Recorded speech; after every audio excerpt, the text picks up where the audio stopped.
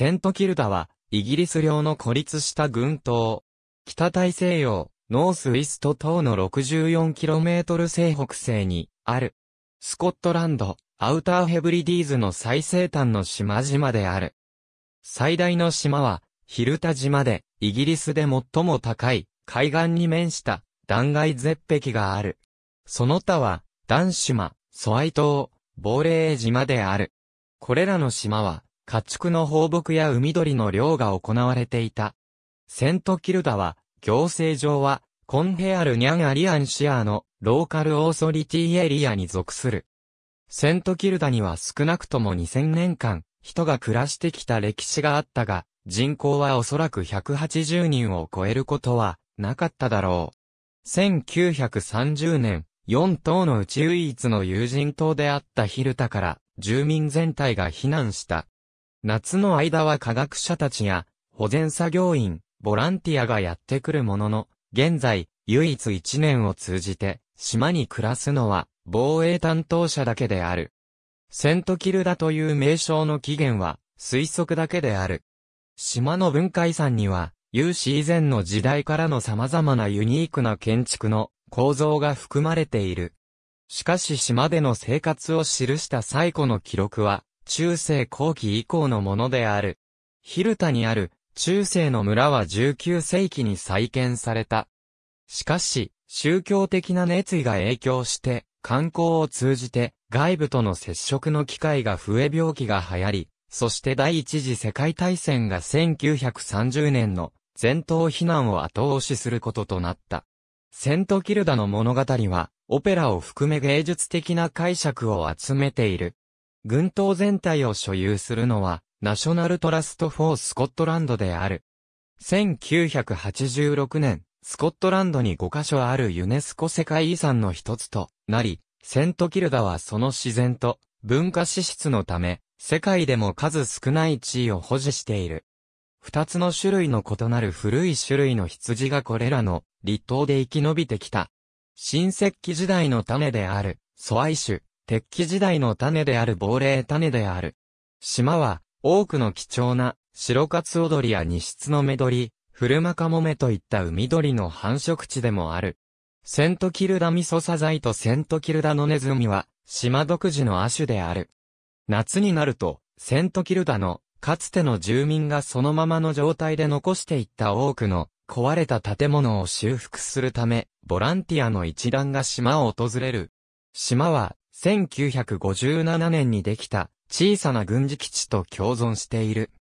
1886年の島の通り1580年のカルトーブ・スカートランドでは、ヒルタのことであろう。ハイスの名とスカーレスダルの名がその北東に見られる聖、キルダの名で知られる聖人はいない。16世紀後半にまで遡る名称の由来だと、諸説が挙げられている。ハズウエル・スミスは、セントキルダの名称すべてが1666年のオランダの地図に初めて記されたと述べた。そして名前は、ノルド語のスントケルダに由来するか、トバーチルダの泉が聖人に捧げられたという誤ったオランダ語の仮説に由来する可能性を挙げている。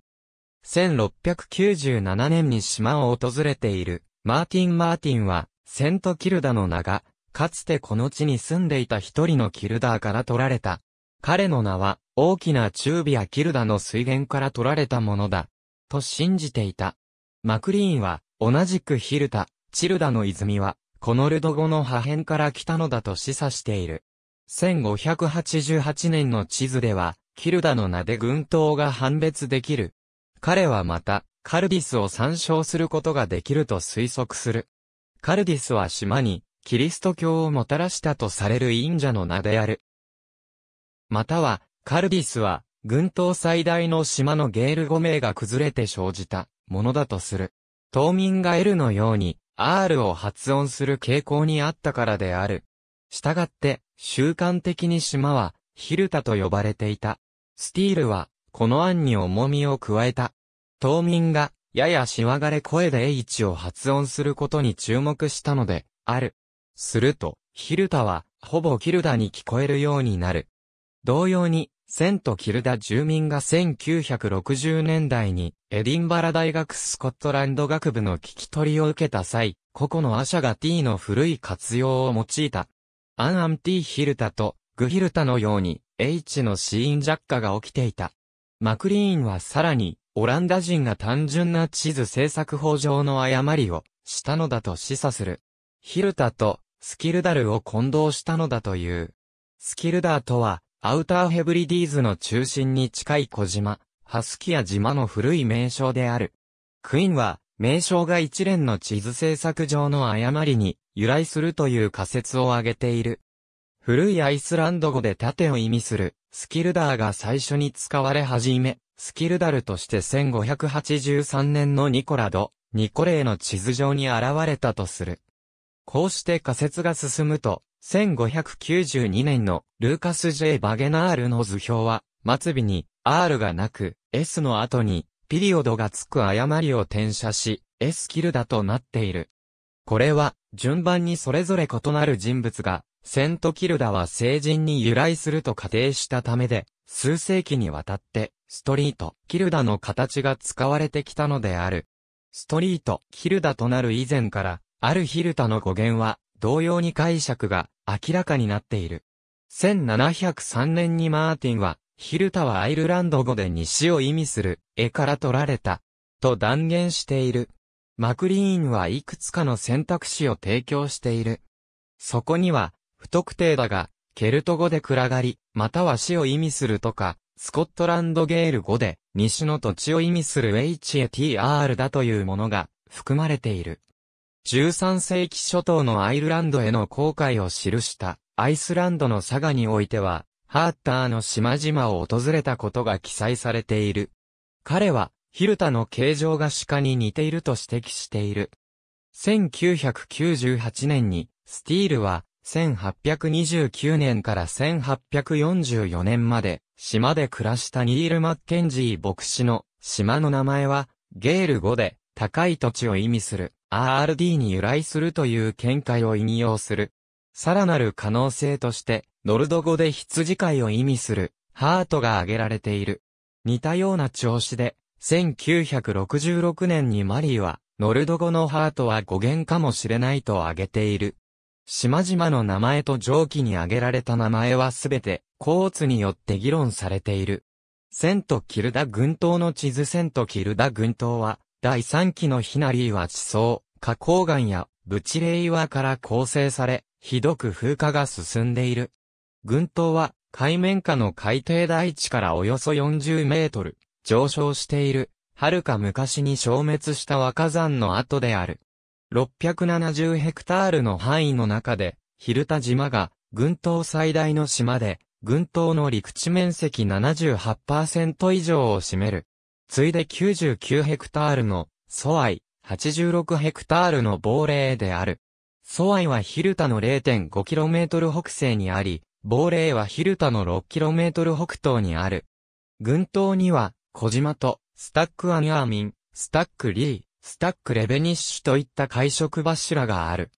南西の季節風から湾の村を守る役割を持つダン島は、昔は自然のアーチでヒルタ島と繋がっていた。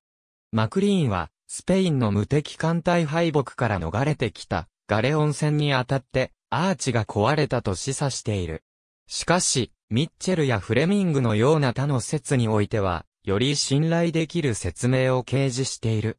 アーチは単に、毎年冬に島々を打ちのめす複数の嵐の一つに、さらわれたのだとしている。ヒルタとダンの地図群島の最高地点は、ヒルタ島にある、コナシェアで、村のすぐ北にあり、標高は430メートルである。南東にあるオイシーベルは、標高290メートル、そして、コナシェアの真西にあるマルック MR は361メートルである。西側の崖に面したルアバルは137メートル、マルックバイは358メートルである。亡霊は384メートルに達し、ソアイは378メートルである。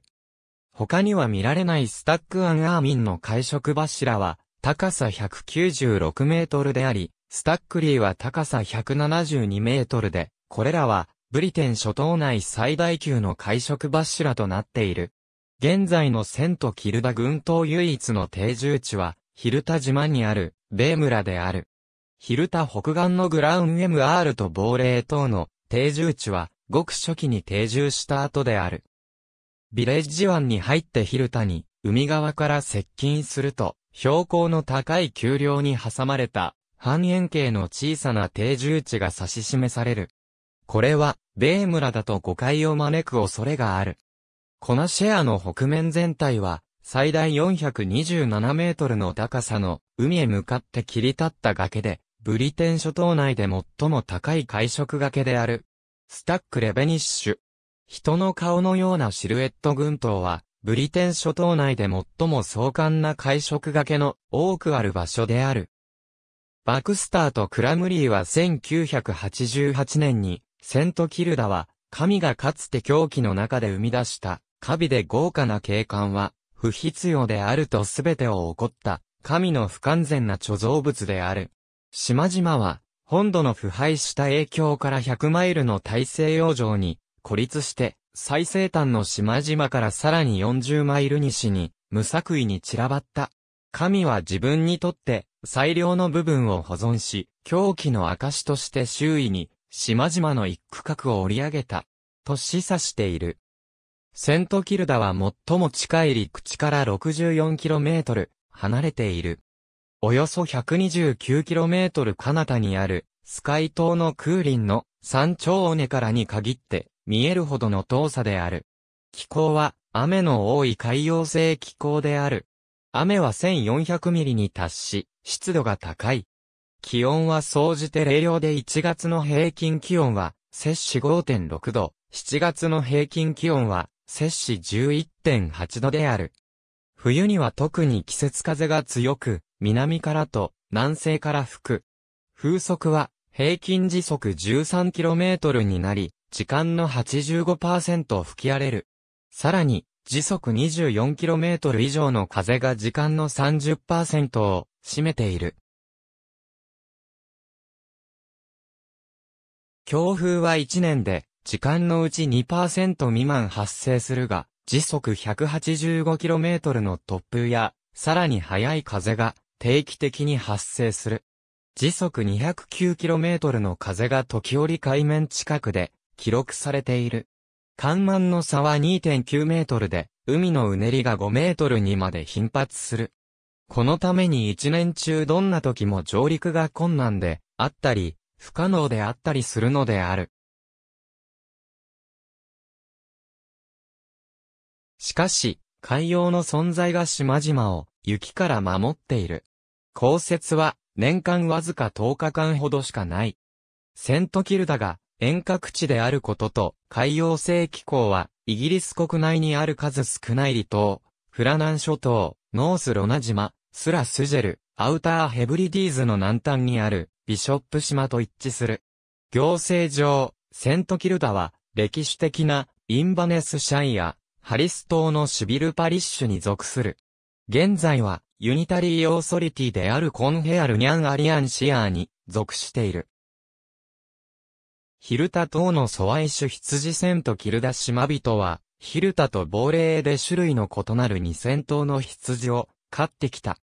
この中には、ヘブリディーズの品種である、スコティッシュダンフェイス種がある。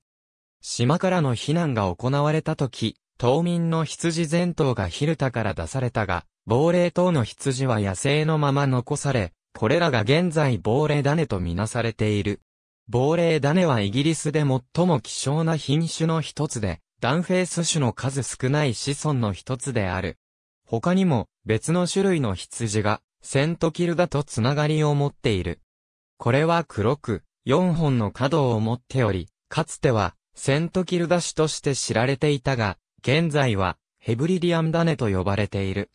これはおそらく、ノースウイストを含むヘブリディーズの別の場所からやってきた、ダンフェイス種の血統である。この種は19世紀に、スコットランド本土やイングランドの公園内で広く、飼育されていた。なぜ、セントキルダ種と呼ばれ、どんなつながりがあるかは明らかではない。非常にアクセスの悪いソアイ島にいる羊はユニークな種である。この羊は野生動物として生息しており、島の所有者の私有物であり、島民の私有ではなかった。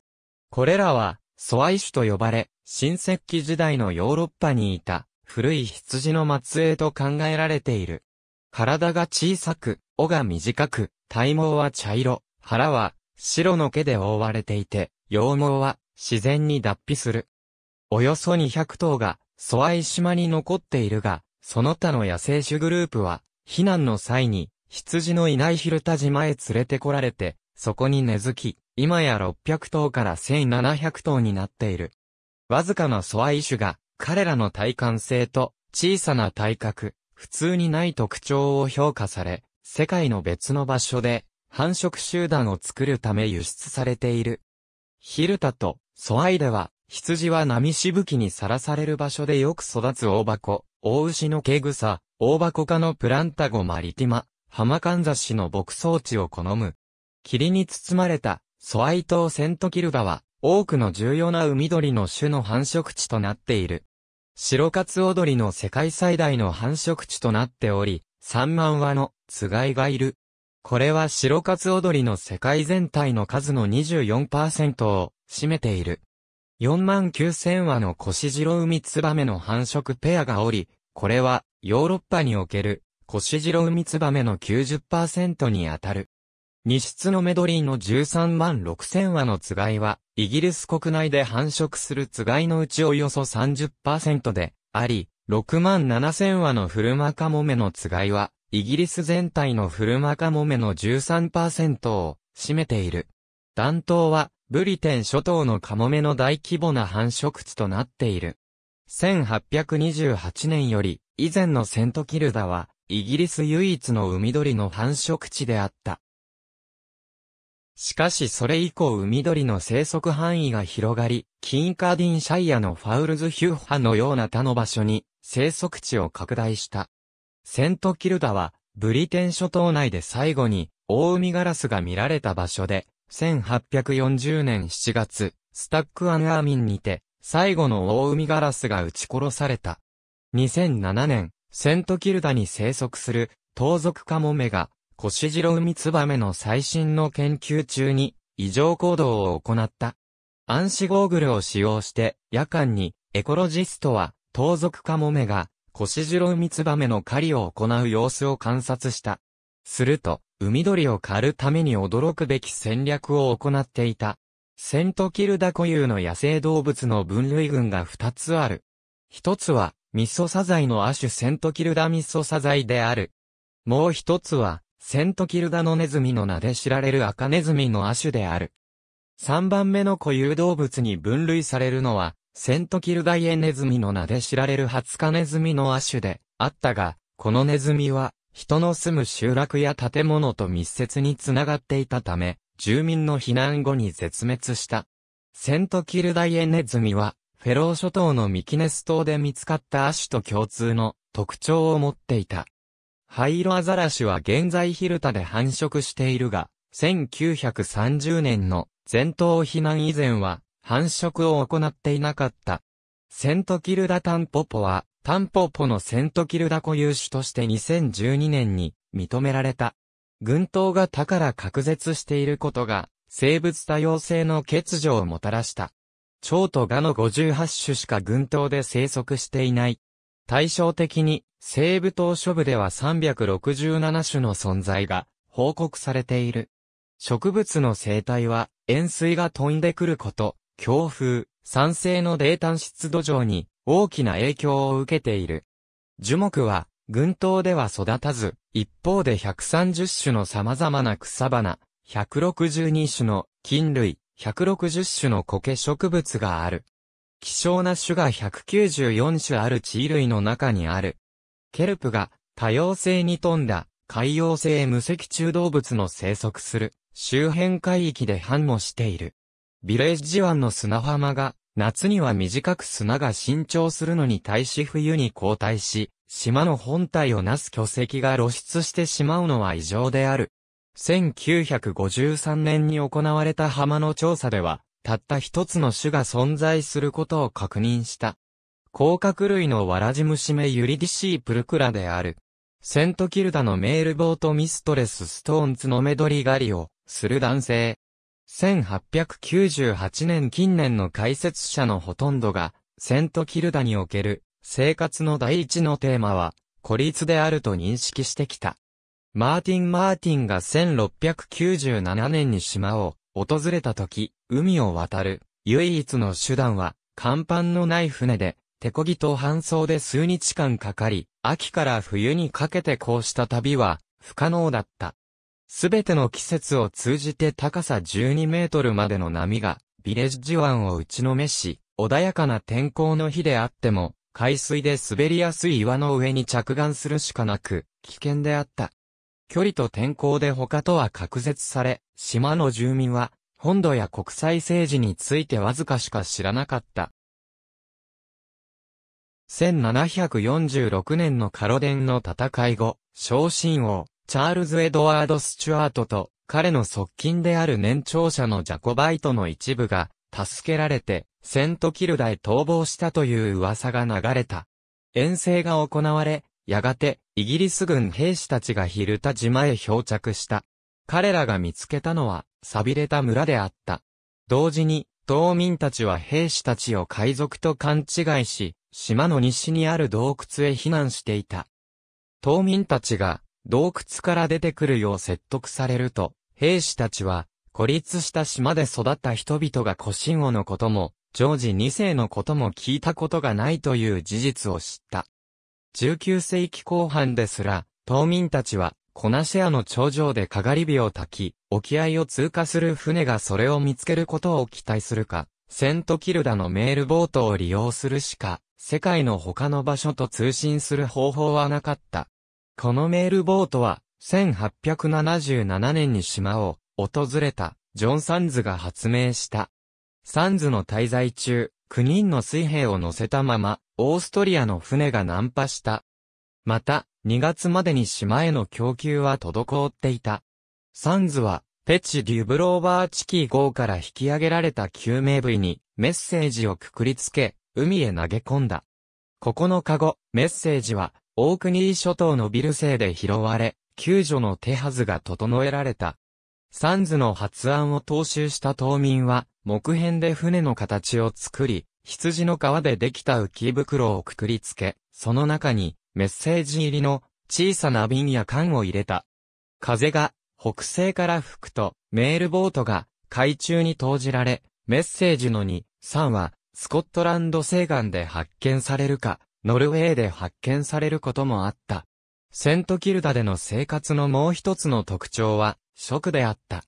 島民は羊とわずかな牛を育て、限られた量の食用作物をビレッジ湾にある水はけの良い土地で育てていた。サミュエル・ジョンソンは18世紀に、セント・キルダ住民は、羊の乳からわずかなチーズをこしらえていた。と報告している。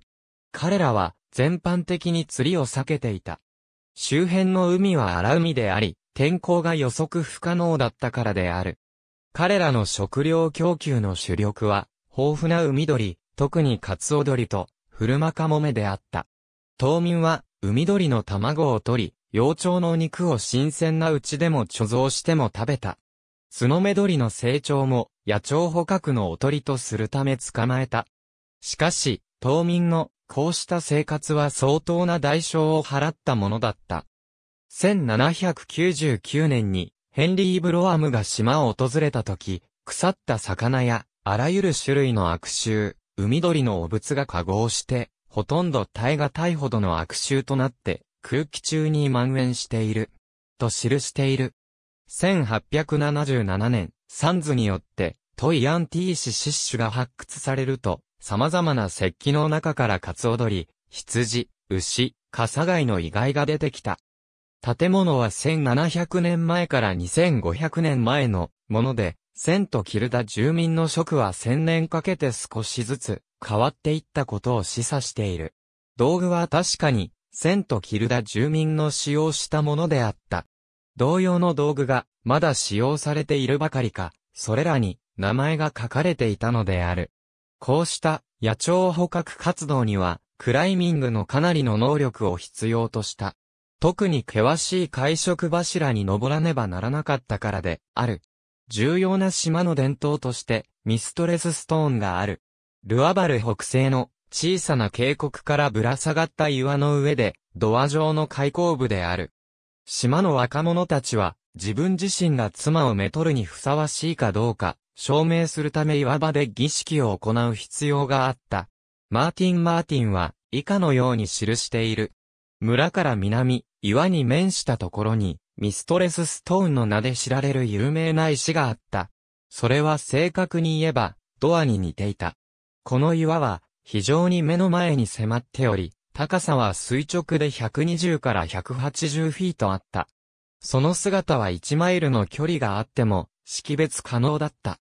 このドアの間草の上に立って、すべての求婚者は、古くからの慣習に従い、彼の恋人の彼に対する愛のため、自らの愛の証を示す栄誉を得た。彼は、左足だけで半身を支えて、岩の上に立った。さらに彼は右足を左側に出し、この姿勢で、お辞儀をした。彼はさらに両手の拳を、右足の方に出した。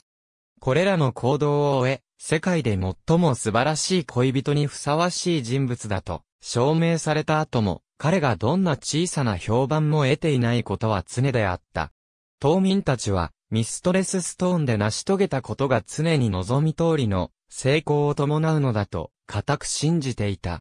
これは、島での習慣であり、住民のうちの一人が非常に大真面目に、私が島を去る期日を教えてくれるよう頼んできた。彼は、私が島を去る前にこの行事を見られると思い、勇気を見せようとこの習慣を実行しようとしたのだ。私は彼に、同時に、自分の命と自分の恋人を失って、しまうであろうこの行いは、私にとって、逆効果となるだろうと話した。セントキルダでの生活のもう一つの側面は、毎日の議会であった。これは、朝の祈りの後、村の通りで開催された朝の会議である。会議には、成人男性全員が出席し、1日の活動を決めていた。誰も会議を主導せず、全員が発言権を持っていた。スティールによれば、議論は頻繁に住民の不和の元となったが、地域社会の恒久的な分裂をもたらすほどの苦い、確執が、これまでの歴史に残ったことはない。自由社会のこの概念は、2004年10月から使用されているスコットランド議会の建物を設計したカタルーニャ人建築家エンリック・ミラジェスのビジョンに影響を与えた。どんな窮乏にあっても、セントキルダ住民はいくつかの点で幸運だった。隔離された場所での生活は、他の場所で生活した場合に経験する弊害から免れていたからである。マーティンは1697年に指摘している。真の自由の快適さを感じている。世界で、ほぼただ一つの住民だとして、一般的な人類よりも幸福そうな人々であったと。そして19世紀には、セントキルダ住民の健康と幸福さは、ヘブリディーズ住民のそれと、好意的に比較された。彼らの社会は、ユートピア的なものとは異なっていた。島民は、自らの資産を守るための独特の鍵を持っており、金に関する犯罪は、軽犯罪とされていた。それにもかかわらず、セントキルダ住民が戦争で戦ったことが知られておらず、島民が犯した重罪について4世紀間にわたって記載がされていない。ビレッジ湾に面した石造りのクライティアン。建物上部には芝が帽子のように乗っている。しばらく前からセントキルダには2000年かそれ以上、青銅器時代から20世紀まで継続して人が暮らしてきたことが知られている。最近、古い新石器時代の集落の直接的な証拠が浮かび上がった。ヘブリディズ諸島で作られていた陶器と同じ様式の破片が村の東で見つかっている。その後石器のための採石場がマルックスケルで発見された。多くの石でできた石符、臼、ナイフがその後、ベー村から見つかった。クライティアンはユニークな石造りの倉庫である。これらの用具は、おそらく新石器時代からのものである。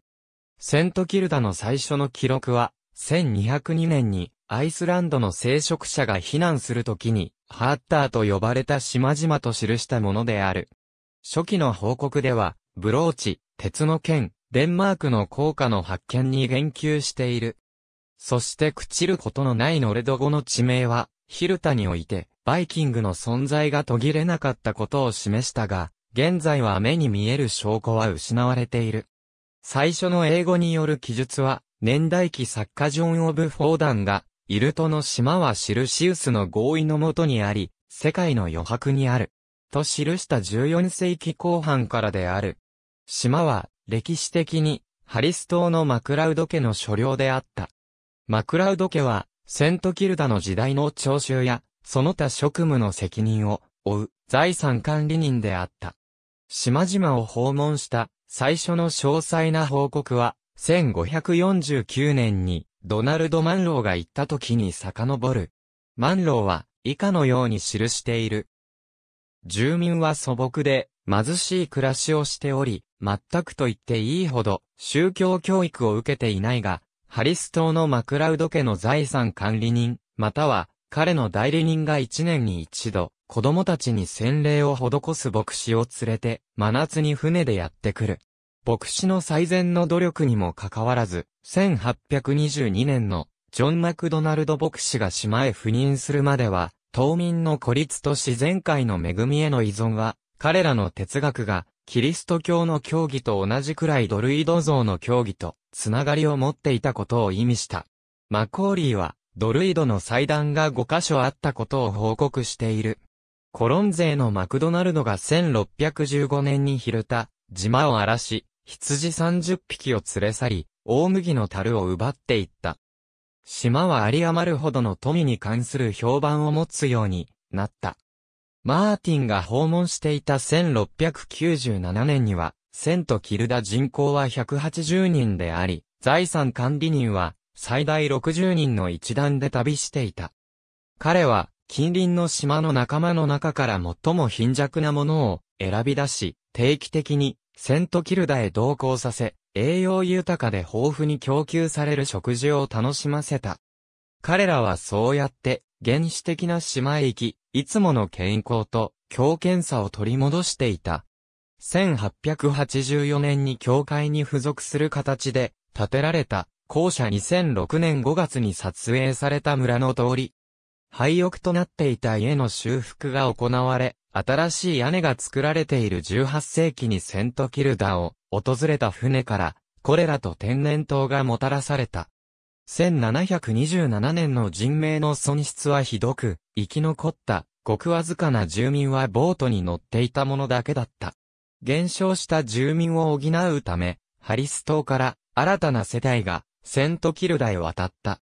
1758年、人口は88人に増え、世紀末までに100人近くに達した。この人口は18世紀から一定の状態にあった。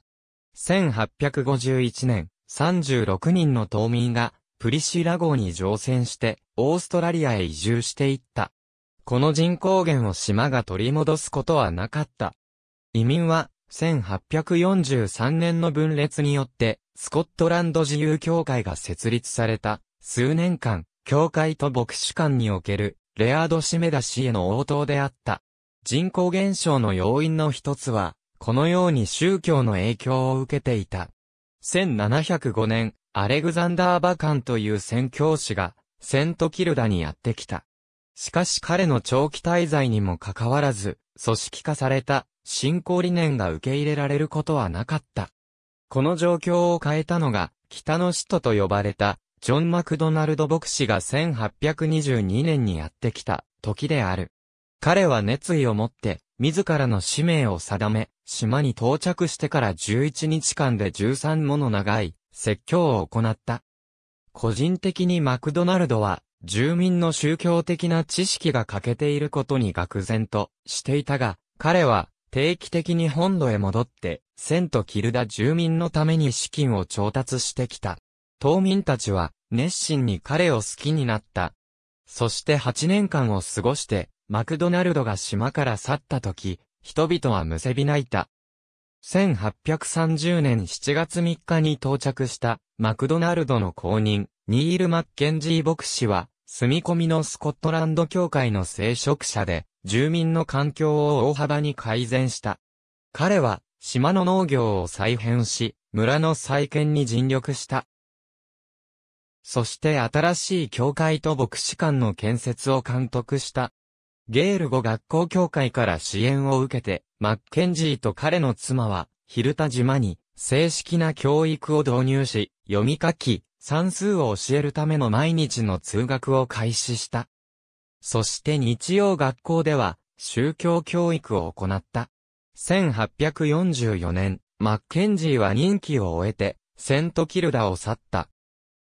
マッケンジーは多くのことを成し遂げたが、外部の権威に依存するセントキルダ住民の弱点は1865年のジョン・マッカイ牧師の不妊と共に露出した。マッケンジー牧師への行為として島民は、スコットランド教会に留まったにもかかわらず、教会分裂の混乱の時代にセントキルダ住民は、新たにできた自由教会への行為を公にしたので、ある。新しい自由教会の牧師マッカイは、珍しく、宗教的儀式に重点を置いた。彼は、日曜日に3種類の2時間から3時間の奉仕の日課を導入し、出席は事実上強制となった。ある訪問者は1875年にあることを指摘している。安息日は耐え難い暗い日だった。鐘が鳴る音で全員が悲しそうに目を地面に向け教会に群れ急いだ。これは右や左に視線を移すことは罪深いとみなされたからだった。宗教上の集会に費やされる時間が、島の実用的な日課を深刻なまでに損なわせた。教会内で物音を立てる、ロープ人や子供たちは長く説教を聞かされ、死後の世界で悲惨な処罰を課されると警告された。島が食料不足になった期間、救援の船が土曜日に到着したが、聖職者は島民たちに安息日の教会のために1日準備せよと命じたので、物資が上陸できたのは月曜日だった。子供たちは遊びを禁じられ、どこに行くにも聖書を携帯させられた。マッカイは24年間セントキルダに滞在した。観光は宗教とは異なるが、やはり同じくセントキルダに不安定な影響を与えた。19世紀になり、蒸気船がヒルタを訪れるようになり、島民は、ツイード網や鳥の卵を売って金を稼ぐことが可能になった。しかし、観光客がそれらを珍品と扱い、島民は自尊心を犠牲にしなければならなかった。船の到来は、かつてなかった病気の流行をもたらした。特に破傷風である。このため19世紀後半、乳児死亡率が約80%にもなってしまった。クナタンナゴール、または、ボート咳という病気が、ヒルタに船が入ると広まり、生活の規則的な症状となった。20世紀の転換点に来ると、正式な学校教育が再び島の特徴となった。そして1906年に、教会は校舎を作るため拡張された。子供たちは、今や全員が英語と母語である、ゲール語を学んだ。マッカイ牧師によって、島へ来ることを拒否されていた、助産師の能力が改善され、小児破傷風問題が減少した。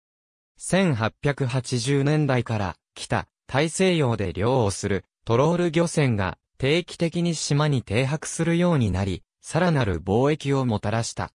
マッカイ牧師任期中の1875年に、避難の話が持ち上がったが、時折の食料不足と1913年のインフルエンザ流行にもかかわらず、人口は75から80の間で安定していた。数年以内に1000年続いた島の歴史が終焉を迎えるという明らかな兆しは見えていなかった。弾頭の方角を向いている4インチ砲対戦初期、イギリス海軍はヒルタに信号所を設置した。セントキルダ史上初めて本土との毎日の通信が行われた。対応が遅れ、1918年5月15日朝、ドイツの潜水艦がビレッジ湾に到着した。警告を発した後、島への砲撃が始まった。72発の砲弾が撃ち込まれ、無線局が破壊された。牧師館、教会、特定倉庫が被害を受けたが、人命は損なわれなかった。一人の目撃者は後に回想して、それは、あなたが悪い潜水艦と呼ぶようなものでは、ありませんでした。どの家も吹き倒されていたし、家々は一列に並んで立っていたのですから。潜水艦は、ただ一つ、海軍の資産を狙っていたのでしょう。コヒ羊が一頭殺されました。砲撃の音を聞くと、牛は前頭島の一方から反対側に走って行ってしまいました。と述べている。この攻撃の結果、イギリス海軍 QF4 インチホーマーク I3 がビレッジ湾を見下ろす岬に設置された。しかし、それが軍事利用されることはなかった。島民に対するより大きな長期的意義とは、外の世界との定期的な接触が導入されたこと、通貨を基準とした経済がゆっくりと入ってきたことだった。これはセントキルダ住民にとっては、生活が楽になることだけでなく、むしろ彼らから自立性を失わせた。どちらも、10年ほど後の全島避難の要因であった。ビレッジ湾と弾頭セントキルダの全島避難には、多くの理由があった。島民は、観光や第一次世界大戦中に軍が駐留するまでは、比較的孤立してきたが、外の世界との接触で彼らが日常的に急防していることに対し代案を模索するように仕向けられたのである。19世紀の訪問者によって島は変えられてしまった。祖先がこの得意な環境で生き残ってきた、そんな生活から島民を切り離してしまったのである。1902年に小さな桟橋が建設されたけれども、島は天候の慈悲に左右されるままであった。第一次世界大戦後、若い男性のほとんどが島を去った。人口は1920年に73人、1928年には37人になっていた。1926年にインフルエンザに罹患した男性が4人亡くなった後、1920年代に不作が連続して発生した。アバディーン大学が土壌を調査すると、鉛やその他汚染物質に汚染された畑で作物を育てていたことが分かった。それは村の畑に肥料として海鳥の死骸や泥炭灰を使用していたことで引き起こされていた。汚染は非常に長い時間をかけて起きていた。肥料を与える栽培法はより集中的に行われていたし、避難の要因になったのだろう。重荷に耐えられなくなった最後の出来事が若い女性のメアリー・ジリーズの死と共にやってきた。ジリーズは1930年1月に中水炎になり、治療のために本土に搬送された。彼女は後に病院で死亡した。彼女の死因は中水炎だと仮定されていたが、1991年にジリーズの息子でセントキルダ住民最後の生き残りであったノーマンは、彼女が実際は肺炎で死んでいた上、女児を死産していたことを発見した。1930年8月29日、セントキルダに残っていた36人の住民たちは、自ら希望して、スコットランド本土のモーバーンへ移された。避難の朝は、完璧な1日になることが約束されていた。太陽は穏やかに姿を現し、海はきらめき、美味しいベルの無表情な崖を温めていた。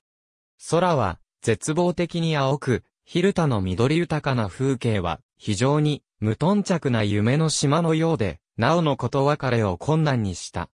伝統に従って島民は、それぞれの家の中に、ページを開いた聖書と、麦の小さな山を置き、すべてのドアの鍵を閉め、午前7時にヘアベル号に乗船した。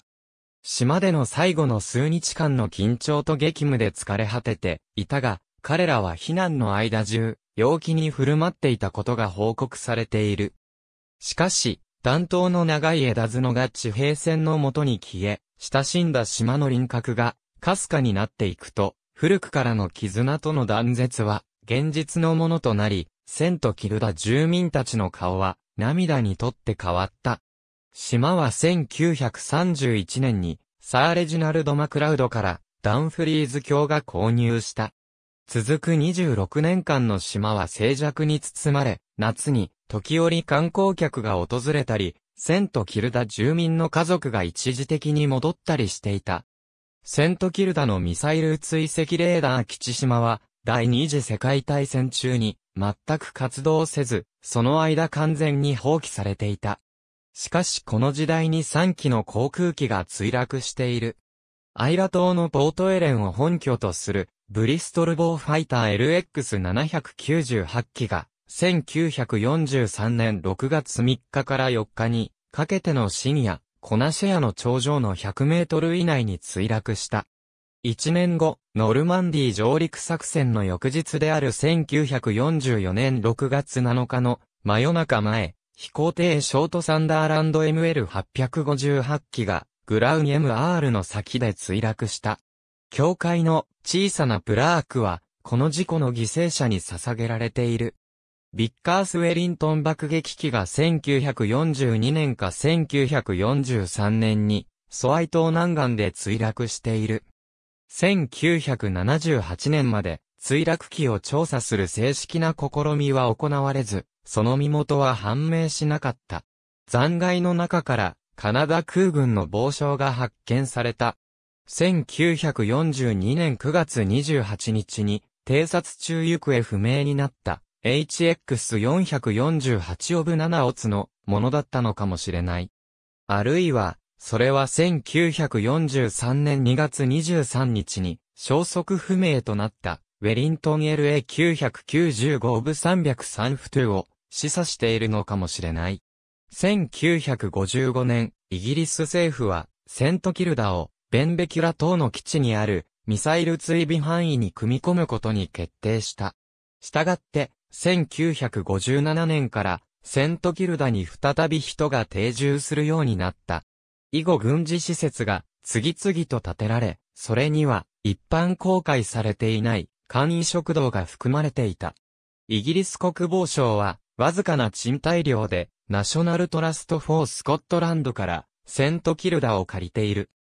本島のヒルタはまだ防衛請負業者キネティック社が採用した月ごとのローテーションで軍事基地で働く少数の民間人が1年を通じて占有している。2009年、国防省は、西部島諸部における、ミサイルテストの範囲閉鎖や、ヒルタ基地を、潜在的に無人にしておくことを検討していると、発表した。1956年8月14日に、ビュート公爵が死去すると、彼は、セントキルダを、ナショナルトラストフォースコットランドへ移贈する意思を示していたため、彼らは6ヶ月以内に申し出を受け入れた。内政の後、遺言執行委員会は1957年1月に遺言の執行に同意した。村の改修と保全がゆっくりと始められた。多くが下記のボランティア作業班の活動であったからである。加えて、野生の素愛種羊や自然環境の他の側面の科学研究が始まった。1957年、エリアは国立自然保護区に指定された。1986年、セントキルダは、スコットランドで、初めて、地上における自然の地形から、ユネスコ世界遺産に登録された。2004年、世界遺産は、島そのものと同様に、周辺海域の多くの特徴を含むよう拡大された。2005年、セントキルダは、自然遺産と文化遺産の両方にまたがるグローバルな場所の一つとなった。セントキルダの島々は、マチュピチュの歴史保護区やアトス山、マロティドラケンスバーグ公園のような国際的に重要な地と名誉を共有している。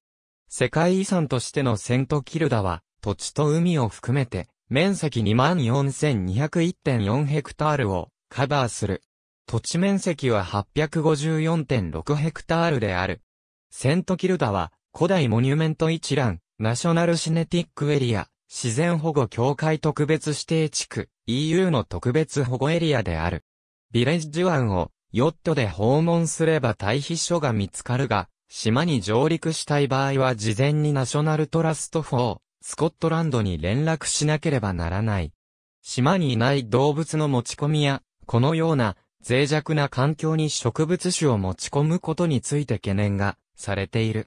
水中洞窟、アーチ、割れ目といったセントキルダの海洋環境は厳しいが、最高のダイビング体験を提供している。北、大西洋の波のうねりの力が強いので、海洋下70メートルで波の影響が検知されるほどである。2008年、ナショナルトラスト・フォー・スコットランドは、ヒルタ島に接岸した漁船スピニングデール号から、ネズミを一匹たりとも上陸させないとする計画について、スコットランドの環境大臣、マイケル・ラッセルの指示を受けた。外からネズミが入り込むことで、島の野鳥の生態を深刻な影響を与えることになると懸念されたからである。幸いにも、4月上旬の野鳥の繁殖期前に、漁船からの潜在的な化学物質である燃料、オイル、餌、食料を含む容器が、オランダのサルベージ会社によって正常に除去された。グラウン MR の移行セントキルダにある、最も古い構造物は、非常に謎めいている。羊たちを囲い込んでおくためのペンが既存の村アンラグ、ボ、エヌトゥアから内陸にあり、それは興味深い船型の石の缶が含まれている。土壌サンプルから、起源は、紀元前1850年頃と推測されているが、これらは、セントキルダでは珍しくはないし、その目的は不明である。ビレッジ湾の北西のグラウン MR には、20もの角状の構造物がある。全体的に崩れてしまっており、その範囲は3メートル3メートルで、2つまたはより、小さな棒、2本の湾曲したまたは、角状の壁で前提が構成されている。繰り返すが、このようなものはイギリスにもヨーロッパにも存在せず、本来の使用目的も不明である。また、グラウン MR は、アマゾンの家を意味する、トイナ・バンガシュジックである。1703年に、マーティンが報告しているように、多くのセントキルダの民話ではこの女戦士について話している。このアマゾンは彼らの歴史で最も有名である。彼女の家、または石造りの搾乳所がまだ残っている。建物は数百年経っているものなのに、住民の一部が毎年夏中そこで過ごす。全体が石で作られていて、木材、石灰、土、固めるためのモルタルも使われていない。天井へ向かってピラミッド的な円の形をしており、天井には穴が開いていて、火が常に平坦部の中心にある。石は長くて薄く、木材の不足を補っている。この家の中心部は9人以下の人間でないと座れない。そこには3箇所の土台、または低い丸天井があり、それらは壁の側にある。各土台の間には柱があり、個々に5人が入る。一つの入り口では、これらの低い丸天井のうち一つが固定された石柱である。この時、住民らは彼女はいつもヘルメットを置いていたという。反対側には二つの石があり、その上に彼女が剣を置いていたと言われている。彼女はずっと狩猟に夢中になっており、生きている間彼女は、あちこちの島やハリーズ島を略奪し、乾燥した土地を広げ続けた。アウターヘブリディーズとセントキルダの間の、今や水没してしまった土地で狩りをしていた女戦士の似たような話は、ハリス島から報告されている。構造体の前提はすぐ近くの角状構造に似ている。しかし、マーティンのアマゾンは、その本来の目的は、考古学的事実というより、伝説的要素となっている。群島を彩る、数百のクライティアンが、はるかに知られている。これらのドーム状構造は平らな岩で構成されており、上には芝のキャップが乗っている。これにより風が壁の空洞を吹き抜けていくが、雨をシャットアウトしている。クライティアンは、泥炭、ネット、穀物、保存肉と、卵、肥料、干し草を保管するために使われたり、陶器には、羊の避難所にも使われた。このセントキルダ発祥の建物の起源は不明である。しかしこの建物は、戦死時代から1930年に避難するまでの間継続して使われてきた。1200箇所以上が荒れ果てるか、無傷のクライティアンは、ヒルタ島にしか残っていない。隣島には170箇所以上がある。現在の村にあるナンバー16と呼ばれるクライティアンは、全壁に初期キリスト教の十字架が組み込まれており、7世紀から現在まで残っていると考えられている。かつての村、ヘッドウォールが村の位置を取り囲む。左上にトバーチルダ、中央には19世紀の通り。右側には20世紀に入って建てられた軍事基地中世の村は岸から350メートル。コナシェアの斜面のふもと、トバーチルダの近くにある。最古の建物は、地下通路で、とヤンティーシシッシュという名の2カ所の離れがあり、紀元前500年から紀元後300年までに作られている。セント・キルダ住民は、それが家、または隠れ家だと信じていたが、最近の定説では氷室であったと推測されている。野に広がる、壁の遺跡とクライティアン、そして、蜂の巣状の離れを残す、中世の住宅の残骸が大規模にある。隣は、屋根のない長方形構造の牛の家で、島の牛が冬の間入れられていた。ヘッドウォールのちょうど外側のトバーチルダは二つの水源によって供給されている。牛や羊が教会内にある工作地に出入りしないよう、トバーチルダは村の周囲に築かれていた。そこには全部で25から30の家があった。そのほとんどが典型的なヘブリディーズデザインのブラックハウスであった。しかし古い家の一部は持ち送り済みされてできていた。芝を切り取ったというよりむしろ芝で屋根を拭いていた。芝は雨や風を防ぐため使われた。そして古い蜂の巣状の家は住居というよりむしろ緑で覆われた小塚に似ていた。羽毛の保管庫。古間かもめとカツオドリの羽毛を保管した。1834年に、中世の村が放棄された時に、ヘッドウォールが築かれた。そして、トバーチルダと、海の間、傾斜した高さ200メートルのところに、新しい区画が計画された。これは、デボン選出の国会議員、サートーマスダイク・エクランドが島を訪問した結果できた。原始的な環境に愕然としたエクランドは、寄付を行い、これが新たなブラックハウス30件を備えた、全く新しい集落建設につながった。これらの家は、モルタルなしのドライストーンで築かれ、厚い壁、そして芝で屋根が吹かれていた。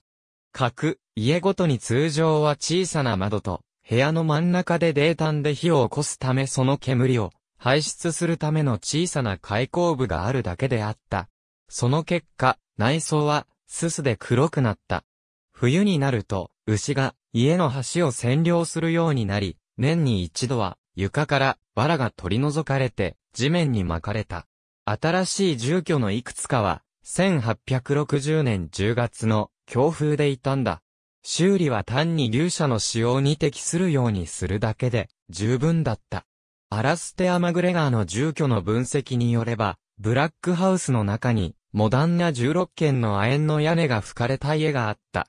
そして新たな土地管理人の家は、島民のほとんどの写真で見られ、1862年頃に建設された。ヒルタ島のさらに強烈な遺跡の一つは、レディ・グランジの家である。レディー・グランジことレイチェル・チーズリーは、ジャコバイトに同情的なグランジ教、ジェームズ・アースキンと25年間の結婚生活を送った。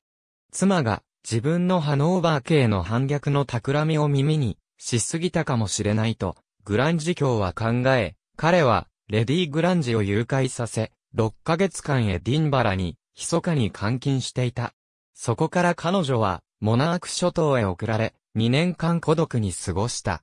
彼女はその後1734年から1740年まで、ヒルタに連れて行かれた。貧しい匂いがすると彼女は記している。救出の試みが失敗した後、彼女はアースキンによってスカイ島へ連れて行かれ、そこで死んだ。彼女がヒルタで住んだ家は、村の草原に立つ、大きなクリートであった。ジェームズ・ボズウェルとサミュエル・ジョンソンは彼らが1773年にヘブリディーズ諸島を回った時、主題を議論した。ボズウェルはこう記している。今日の夕げの後、我々は、レディ・グランジが、セント・キルダに送られ、何ら救出されないまま数年閉じ込められたのだという、特別な事実の話をした。ジョンソン氏は言った。手に負えない女性のために、そんな場所があるのだともし、マクラウド家の者が知ったなら、彼は、セントキルダを非常に利益を生み出す島に、作り上げるだろうね。1860年代、爆発で砕かれた岩で島の上陸地点を改善する試みは成功しなかった。1877年に小さな桟橋が設置されたが、2年後に嵐で流されてしまった。1883年、ネーピア委員会への申し入れが交換用の建物を示唆した。しかしそれは人工化上局が技師を派遣して翌年に完成させるのに先立つ1年前、1901年のことだった。海岸線の近くには巨大な石がいくつかあり、この石は19世紀のハイランドと当初部では、ドイルニゲンハートとして知られていた。ある時、ヒルタには3つの教会があった。村の中心の墓地の敷地内にある、キリスト教会は、1697年に使用されており島最大であった。しかしこの、わらぶき屋根構造の建物は、村民全員を収容するには小さすぎたし、改修のほとんどが、儀式の間教会に集まる必要があった。ルアバルの斜面から 1km 離れたところに、セントブレンダン教会が築かれ、村の通りの西端にはセントコランバ教会があった。これらの建物はわずかに残っている。1830年、新しい教会と牧師館が村の東の端に建てられた。土地管理人の家は1860年に建てられた。ドライストーンのボシー亡霊等のクライティアン・マクファジン、弾頭の弾とは、砦を意味する。そこには、遥か遠い昔に、フィルボルグ族に捨てられたと言われてきた、建物の壊れた壁だけがある。ただ一つの住居、シーントイは、自然にできた洞窟で、時にはセントキルダ住民が、羊の世話をしたり鳥を捕まえた時の避難所にしていた。ソアイ島には、トイ・ドゥーガンとして知られる原始的な小屋がある。これは、巨大な石の下に掘った穴と大差がなく、両側には粗末な壁がある。この小屋の言われは、ルイス島からやってきた、羊泥棒の兄弟と関連がある。彼らは、セントキルダにやってきて、さらなるトラブルを引き起こした。ドゥガンは、ソアイ島に追放され、そこで彼は死んだ。ファーヘル MR という名のもう片方は、スタックアンアーミンに置き去りにされ、彼はそこで生きることが耐え難くなって、海に身を投げた。亡霊島は、クライティアン・マクファジンと呼ばれる三つの小さな母子が自慢である。この母子は、野鳥の狩猟で亡霊に、人々がやってくると、定期的に使われた。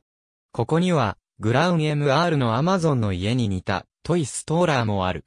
グラウン MR のアマゾンの家よりやや大きく、土台が6つある。地元の伝説では、このカレーの家は、地主のカレーに対する反乱を主導した岩の男によって建てられたという。これは、鉄器時代のホイールハウスの一例であっていいだろう。農業分野システムの関連遺跡が2011年に発掘されている。1724年、ヒルタ島での天然痘流行の結果、3人の男性たちと8人の少年たちが、翌年の5月まで亡霊島に置き去りにされた。少なくとも、スタックアンアーミンには保管庫として使われた、クライティアン78箇所、1箇所の小さな母子が存在する。小さな母子は、険しいスタックリーにも存在し、野鳥捕獲者が使っていた。スタックアンアーミングラス号とセントキルダ間でサービスを提供する、汽船会社が、わずか18分の短編サイレント映画、セントキルダ、ブリテンで、最も孤立した島を委託した。1928年に封切られ、島民の生活シーンをいくつか見ることができる。1937年、セントキルダ避難の逸話を知ったマイケル・パウエルは、島の過疎化の危険を取り上げた映画作品、世界の果てを撮った。作品は、シェトランド諸島のフーラ島で撮影された。作家ドロシーダネットは短編小説ザ・プルービング・クライムをセントキルダを舞台として書き、1973年にスコティッシュショート、ストーリーズというアンソロジーの中の一つとして出版された。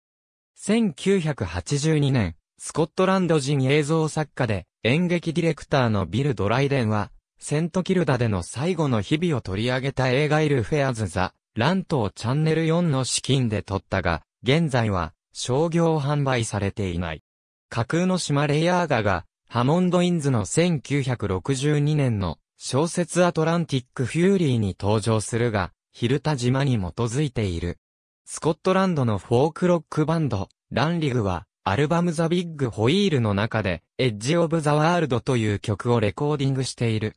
この曲は孤立して暮らす住民、そして、セントキルダの男が、冬のある日どのように崖の上へ行ったかを歌っている。スコットランドのシンガーソングライター、ブライアン・マクニールは、セント・キルダ出身の宝刀息子、ユアン・ジリーズという落ち着きのない男についての曲を書いた。このユアンは、成功を求めて、セントキルダを離れ、オーストラリア、そしてカリフォルニアで金の採掘をする。曲の中で彼は富を得るが失ってしまうと歌われ、故郷へ帰り、無力になって、島に残ることで終わる。ユアンザ・ゴールドは1991年発表のアルバムバックオー、ザ・ノース・ウィンドに収録された。この曲は、マクニールによる、スコットランド人のディアスポラについてのオーディオビジュアルによる献呈となっている。2005年、ラジオタイムス誌の読者世論調査で、セントキルダは、ブリテン諸島における第9の最大の自然の驚異と名付けられた。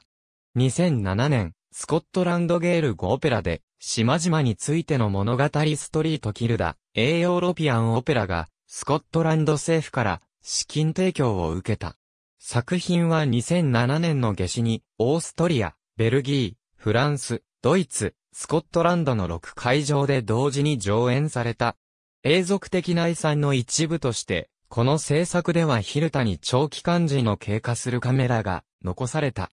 三部構成の BBC ドキュメンタリーシリーズで、セントキルダについて特集したブリテン、エスロストワールドが、2009年6月18日より、放送が開始された。1986年と2004年、セントキルダを描いた切手が、イギリス郵政より発行された。セントキルダは2009年に、クライズレール銀行発行の紙幣の新シリーズにも描かれた。住民の歴史的な写真に基づいた画像が5ポンド紙幣の裏に登場する。